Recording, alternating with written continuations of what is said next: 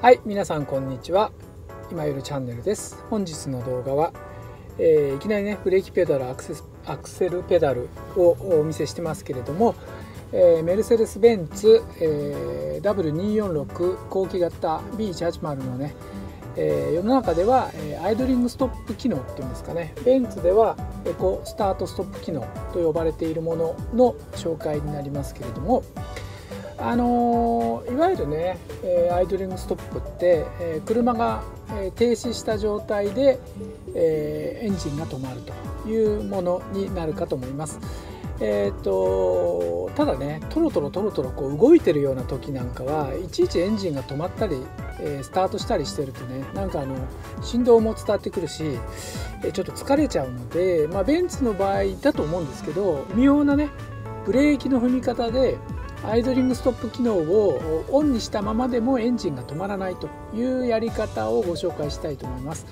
それとね、えっと、これもあの他の車にもあると思うんですけれども、えー、ブレーキを強く踏み込むとねホールド機能いわゆるブレーキがかかった状態のままになる機能があります。えー、それのね、えー、と使い方解除の仕方をお伝えしたいなと思います。はいそれではねまず、えー、車を走らせます。えっ、とねその前にここに A というマークがついてます。これがねアイドリングストップ機能動いてますよ使えますよという機能になります。じゃあ今止まってる状態でここホールドになってます。エンジンも回転止まってます。この状態から走らせてえー、車をね速度ゼロにしてもエンジン止めない、えー、アイドリングストップ機能はオンになってるんですが、えー、これをやってみたいと思います。でね、えこのホールド機能解除今もう足こうやってね離してますけれどもこれを解除する方法としては2つあります。ブレーキペダルをね強く踏み込んでここが P になった状態でブレーキペダルを戻すとエンジンかかります。失礼エンジンかかります。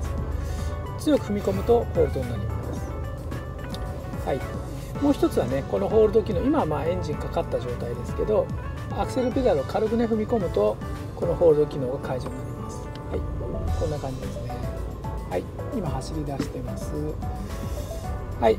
今ねまだえー、アイドリングストップ機能使えないよということで A に、えー、×マークがついてると思います。しばらく走るとね、え、アイドリング機能が使えるようになりますのでそのあ今使えるようになりましたね。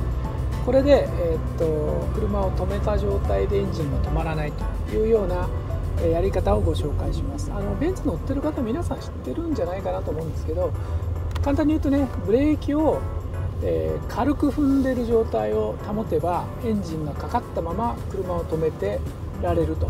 アイドリング機能がオンになっててもね止めてられるというようなものになります。はい。じゃあねえっ、ー、と今車を止めるところからやりたいと思います。車止めていきます。はい今ねまだ走ってます。はい、えー、もうすぐね車止まります。今はい。車を止めました。はい。軽く本当にね軽く踏んでる状態。速度ゼロ。エンジンはかかっているアイドリングストップ機能オンこういう状態が作れます。で今少しね強く踏み込んだらエンジンが止まるということになります。もう少し強く踏み込むとホールド機能で足を離しても、えー、エンジンもかかってないしブレーキがかかったままということになります。もう一度やります。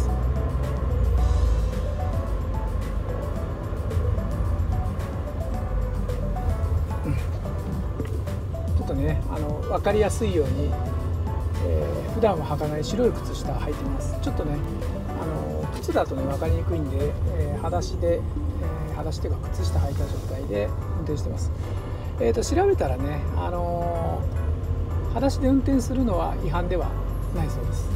なので大丈夫だと思います。はいもう一度やります。よいしょ、はい車止めます。よいしょはい。車。止まりました。